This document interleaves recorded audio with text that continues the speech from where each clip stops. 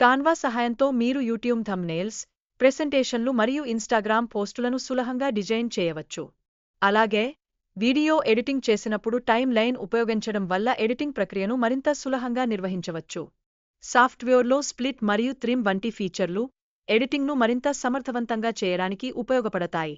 వీడియోని స్ప్లిట్ చేస్తే అవసరమైన భాగాలను ఎంచుకుని కత్తిరించడం సులభం అవుతుంది.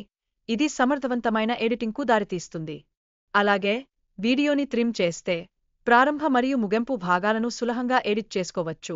తద్వారా మీరు వీడియోను మరింత ఆకర్షణీయంగా మార్చవచ్చు. ఆడియో ఫైల్స్ను కూడా ఎడిట్ చేయటం ద్వారా బ్యాక్గ్రౌండ్ మ్యూజిక్ను సర్దుమాటు చేసుకుంటారు. ఇది వీడియో యొక్క అదనపు ఆకర్షణను పెంచుతుంది. టెస్ట్ ఎంపిక చేసుకునేటప్పుడు ప్రో మరియు ఫ్రీ ఆప్షన్స్ గురించి తెలుసుకోవడం చాలా ముఖ్యం. ప్రో ఆప్షన్స్ కొనుగోలు చేయాలి కానీ ఫ్రీ ఆప్షన్స్ కూడా ఉన్నాయి. టెస్ట్ ఫాంట్ మరియు రంగుల మార్పులు చేయడం ముఖ్యమైన భాగం. మీరు మీకు నచ్చిన ఫాంట్ మరియు కలర్ను ఎంచుకోవచ్చు. ఇది టెస్టు ఆకర్షణను పెంచుతుంది. వీడియో ఎడిటింగ్ సమయంలో బ్యాక్గ్రౌండ్ను తొలగించడం మరియు ఫిల్టర్స్ ఉపయోగించడం చాలా ఉపయోగకరం. బ్యాక్గ్రౌండ్ తొలగించడానికి పర్చేస్ చేయాలి కానీ ఫిల్టర్స్ ఫ్రీగా లభిస్తాయి.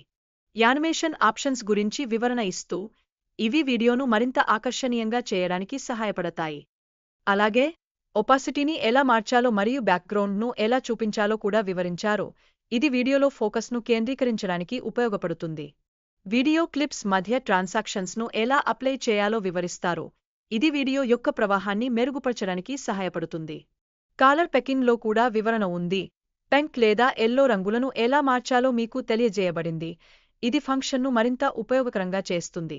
ఏం స్క్రీన్లను యాడ్ చేయడం మరియు వాటిని ఎలా డిజైన్ చేయాలో కూడా వివరిస్తారు. మీరు చేయాలనుకుంటే ఈ ప్రక్రియను అనుసరించవచ్చు. టెక్స్ట్ బాక్స్ యాడ్ చేయడం మరియు సైజు మార్చడం గురించి మాట్లాడారు. పాయాని ఎలా ఎడిట్ చేయాలో వివరించారు.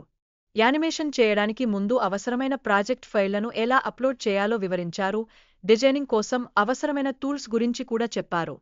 స్పియట్ పెయింట్ ట్యుటోరియల్పై వివరించారు. ఇది వెయిట్ బోర్డ్ యానిమేషన్ సృష్టించడంలో సహాయపడుతుంది. ఇది యూజర్లకు ఉపయోగపడుతుంది.